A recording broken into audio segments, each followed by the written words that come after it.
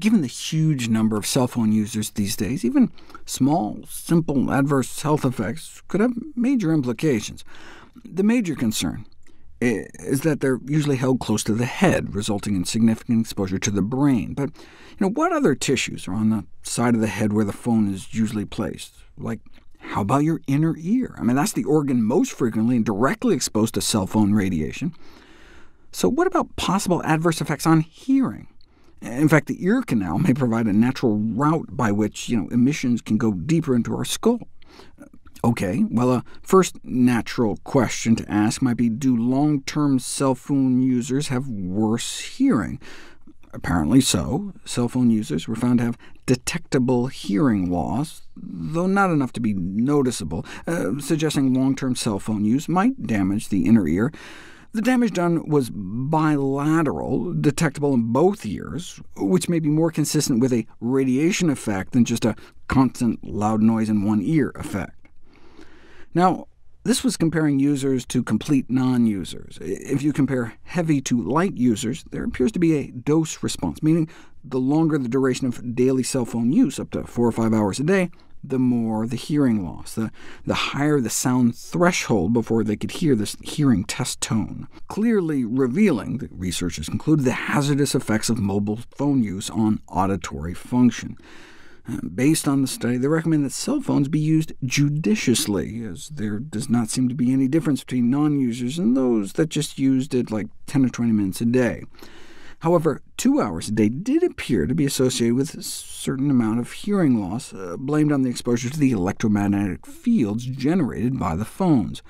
I mean, uh, but to make a claim like that, you can't just use observational studies like these. You need to put it to the test.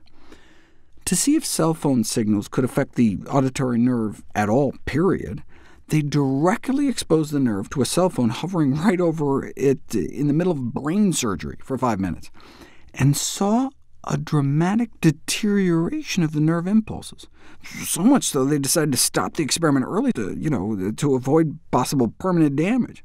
So obviously, this is a very unnatural situation, clearly far from reproducing EMF exposure where you have things like skin, bone, blood, and brain in the way. But I mean, it does show that cell phone emissions are powerful enough to at least potentially affect nerve function. OK, but how about an interventional study on the effects of cell phones on hearing with your skull actually on?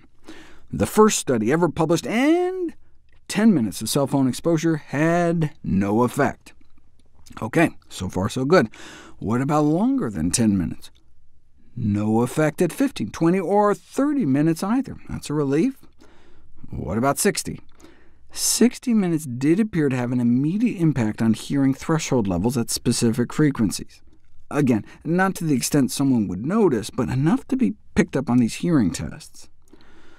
What if you wear a Bluetooth headset? I mean, does Bluetooth radiation affect hearing? No effect. On your pet rat. But what about the other members of your family?